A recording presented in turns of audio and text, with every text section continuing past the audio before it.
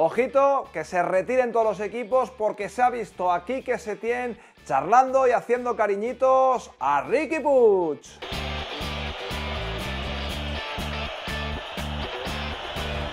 ¿Qué pasa chavales? Bienvenidos al vídeo que os prometí ayer en el que me iba a meter en la designación de Quique Setién como nuevo entrenador del Fútbol Club Barcelona. Hoy ha sido eh, presentado, ha dicho pues lo que todos los barcelonistas eh, querían escuchar y querían oír y querían creerse después de estos dos años de, reinado de terror futbolístico de Ernesto Valverde. Ayer me metí en cómo veo el club y me meto en lo de Quique Setién y enseguida voy a entrar con lo de Ricky Puig. Pero bueno, lo primero hablar eh, del entrenador de fútbol y no, pues bueno, del, del vendehumos este aplaudido por la prensa que ha sido, que ha sido siempre irrespetuoso con otros eh, compañeros, un eh, fundamentalista de su estilo de fútbol que ha faltado el respeto maneras de, entrenar de otros compañeros de profesión, como Bordalás, como Pellegrino, en fin, no voy a entrar mucho en eso, ya entré en su momento, están por ahí los vídeos, pero del Quique tiene entrenador, he de decir que me parece un correcto entrenador, un entrenador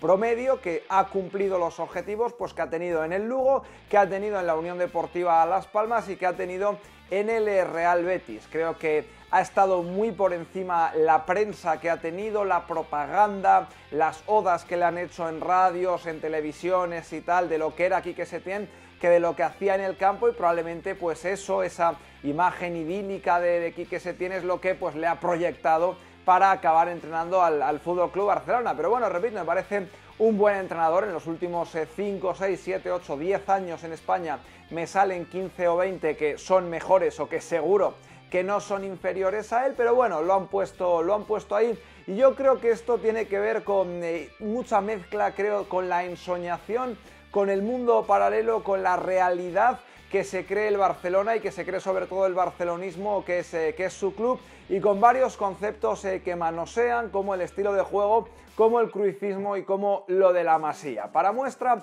un botón de lo que, de lo que representa Quique Setién o de lo que quieren que represente Quique Setién. Luego, la realidad ya veremos la que es, porque esto, al final, la realidad siempre se acaba imponiendo a cualquier agenda o a cualquier discurso barato. Y una de las primeras cosas eh, que ha ocurrido después de la presentación en la que ha garantizado que su equipo va a jugar bien al fútbol y tal, había que preguntarle qué es jugar bien al fútbol, pero bueno, una de las cosas que primero se han producido ha sido que Ricky Puig ha sido eh, trending topic eh, en España porque, pues bueno, le han subido al primer entrenamiento a entrenar con el primer equipo, ha habido una imagen de él pues que han captado los medios de comunicación o los medios del club de este entrenador, Quique Setién, pues así cogiendo a Ricky Puig y Ricky Puig sonriendo y tal, y al final pues miles de personas de España, de Latinoamérica, de Estados Unidos, de, la China, se han puesto a tuitear eh, sobre Ricky Puig cuando de todos esos, la gran mayoría, la práctica totalidad, ni siquiera habrán visto cinco minutos de Ricky Puig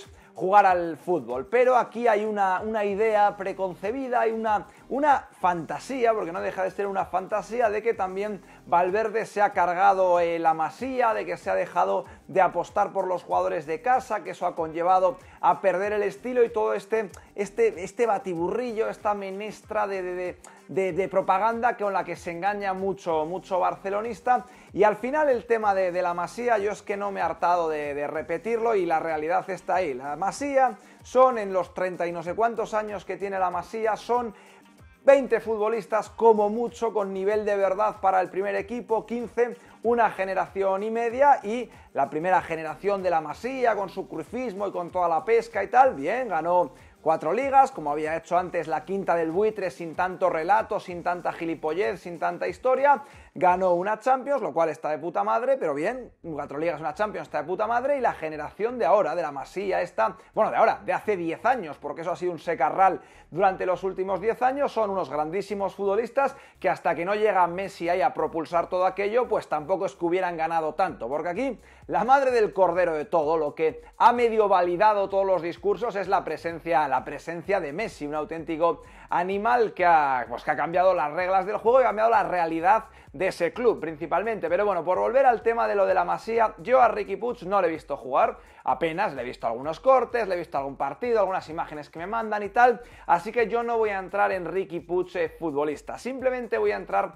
en el concepto que Ricky Puig representaba hoy en Twitter, en ese trending topic, para las miles de personas que no lo han visto jugar, para las miles de personas que se han creído lo que los cuatro gurús del barcelonismo en el Sport, en la televisión, el Lobo Carrasco, el Mr. Seitan, les dicen tal, Ricky Puig, Ricky Puig, Ricky Puig, ese concepto de Ricky Puig, yo me lo llevo viendo una década, una década me lo llevo viendo porque el concepto Ricky Puig, que no sé lo que va a ser ese jugador, eh, ojalá triunfe, me da igual, ojalá que no, bien, me da igual, no entro, eh, no entro en Ricky Puig, entro en el concepto Ricky Puig. Y el concepto Ricky Puig hace 10 años fue Sergi Roberto, que era mejor medio centro que Busquets, luego fue un tal eh, Samper o Semper, no me acuerdo ni cómo se llamaba, luego fue Oriol Romeu, que ese sí, ese era más físico, luego fue Tiago Alcántara, que fijaros el secarral que será eso, que Tiago Alcántara, un buen jugador. Y ya es el mejor centrocampista que ha producido la Masía en los últimos 10 eh, años, desde la generación anterior, vamos. Así que ese es el concepto que ahora es eh, Ricky Puig. La gente no ha visto a Ricky Puig, la gente se espera que ya por fin Ricky Puig se crea que sea lo que, lo que le dijeron que era eh, Romeu, lo que le dijeron que era Sergio Roberto como centrocampista,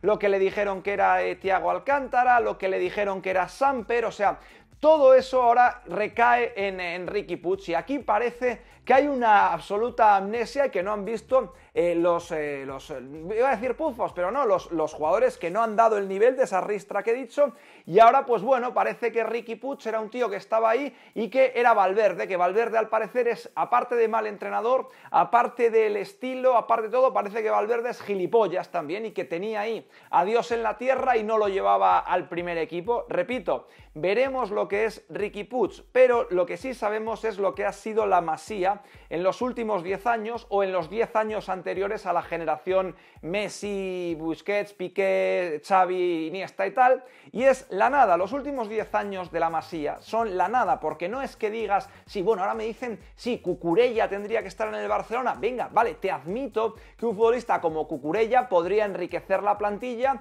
en vez de, pues, eh, pufos que han fichado, cosas raras que hicieron como el Douglas aquel que pillaron. Quiero pensar que habiéndolos llevado de mejor manera puedes tener a Munir y no traer a la cosa esa de Boateng. Yo entiendo que hay bueno, pues varios futbolistas perfil Cucurella que podrían estar en la plantilla del Fútbol Club Barcelona. Eso de verdad que lo pienso, pues como en el Madrid ha estado Lucas Vázquez, como ha estado Nacho, como ha estado, pues por ejemplo, esos jugadores, yo estoy sí que estoy convencido que la Masía los ha, los ha producido y que ha podido ver una falta de oportunidades o como queramos verlo a futbolistas para enriquecer una plantilla como la del Barcelona, Tello, tal, bueno, bien, bien, pero aquí lo que no se puede hacer es pajas mentales con esto de la Masía. La Masía, repito, es una generación y media. Por mucho que se les llenara la boca con esa superioridad eh, intelectual futbolística que tenían con nosotros, no compramos balones de oro, los creamos, pues mirad la ristra de pasta que se han gastado, pero ahora bueno, le ha, dado, abrazado a Ricky Puig, veremos si juega Ricky Puig y veremos lo que es eh, Ricky Puig. Y lo segundo, el tema este del cruifismo que a mí me hace, me hace gracia porque ahora, pues bueno, se tiene, se tiene lleva años haciendo... Eh, bueno, eh, haciendo odas a este estilo para que le llamaran un día, descolgaran un teléfono, una situación de desesperación máxima del Barcelona y un entrenador eh, de un nivel promedio eh, coja uno de los cinco banquillos más importantes eh, del mundo. O sea, la parte propagandística comunicacional de Setién, no sé si se la habrá llevado él, si habrá una estrategia detrás con una compañía, pero de 10, le deberían dar un premio ahí de estos que dan las grandes marcas estas de publicidad, porque ha sido tremendo que este hombre haya llegado, llegado hasta ahí. Pero bueno, el tema del cruifismo. Si, si el cruifismo se instala a finales de los 80, digamos, cuando llega el señor Cruyff a, la estructura, digamos, eh, técnica. De 32 años que ha habido últimos,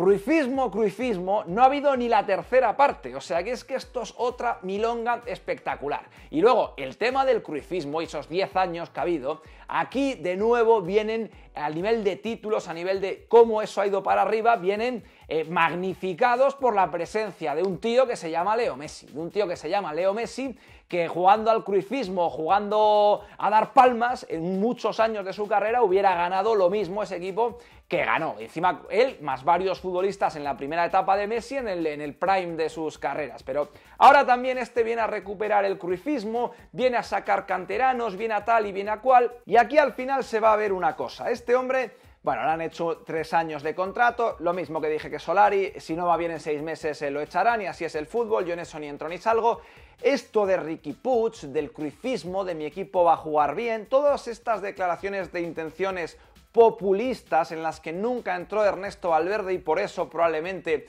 la crítica tóxica que tiene el Fútbol Club Barcelona lo ha matado, lo ha puesto como el tonto del pueblo, lo ha puesto como un inútil. Ahora todo esto, insisto, de Ricky Puig, del cruifismo, de hubiera dado un dedo meñique porque me entrenara Cruyff, luego va a contrastar con la realidad. Y la realidad es que Quique Setién y Eder Sarabia, el entrenador este segundo, que otro, otra joyita, tienen que ganar partidos de fútbol. Y vamos a ver qué manera encuentran para ganar los partidos de fútbol, que evidentemente van a ganar muchos estando en este equipo, como han ganado absolutamente todos los entrenadores. Algunos muy buenos, como Valverde, que era un muy buen entrenador, otros de un perfil más guerrero, como el Tata Martino, digamos. Pero esto se va a dar eh, de bruces cuando bueno, pues si pone a jugadores de la cantera, que es que en seis meses tampoco le da tiempo a hacer maravillas, si pone jugadores de la cantera y no dan el nivel, pues irán para afuera. Si intenta jugar con estos futbolistas con la misma columna vertebral de hace 10 años, con los Piqué, Busquets, Rakitic, Messi, encima no está Suárez a presionar y tal, campo alto, no sé qué, pues al final se verá que este equipo probablemente, como sospecho, tampoco está para jugar a eso y ya todas estas bonitas palabras de Quique Setién chocarán con la realidad, que es lo que le viene pasando al Barcelona, creo, en los últimos años, entre lo que se han creído que son como club, como conceptos, masía, valores, cruifismo, tal, y la realidad de un equipo menguante, muy menguante, con muy malas decisiones de la directiva, de lo que hablé ayer, sostenido por, eh, sostenido por Messi, y al final aquí la conclusión, y esto es también creo un reflejo pequeño, pero un reflejo de cómo están las cabecitas ahí dentro. En el post que ha puesto el Barça despidiéndose de Ernesto Valverde, ha habido dos futbolistas que han dado like, dos futbolistas que no han empatado absolutamente con nadie. El primero es Artur Melo, que creo que es un gran centrocampista o que puede ser un gran centrocampista, pero que está más de fiestita con Neymar, de discoteca, haciendo snowboard cuando está lesionado. Ese le ha dado like a que echen a Valverde. Y el otro que le ha dado like ha sido Ricky Puig, un niño de 20 años que no ha empatado absolutamente con nadie, pero con ese tipo de likes ya entiendo que se está creyendo todo esto que están diciendo a su alrededor de que es una mezcla entre Busquets, Guardiola, Xavi, Iniesta y Messi. O sea que al final vamos a ver, vamos a ver Vamos a ver si el, tonto ese de Valverde, como lo han tratado algunos, no estaba haciendo las cosas que más necesitaba hacer para ganar en este equipo, aunque fueran impopulares. Vamos a ver si ahora que viene un técnico populista, si opta por hacer todo lo que quieren que haga de él, no se la pega hostia tras hostia tras hostia. Bueno chicos, hasta aquí este segundo videaco de análisis de cómo veo el tema del Barcelona. No sé, dejadme, dejadme algún comentario. Ayer tenéis el de cómo veo la situación del club, ahora cómo veo la llegada de Quique Setién. Espero tu comentario, que compartas el vídeo, que me dejes un like y nos vemos en el siguiente.